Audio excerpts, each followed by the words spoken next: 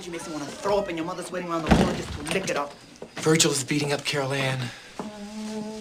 Most likely. Well, we have to help her. Oh, no, no, no, no. See, Vida, there are times when you help people. And then there are times when if you help people, you end up being killed. So you don't help people.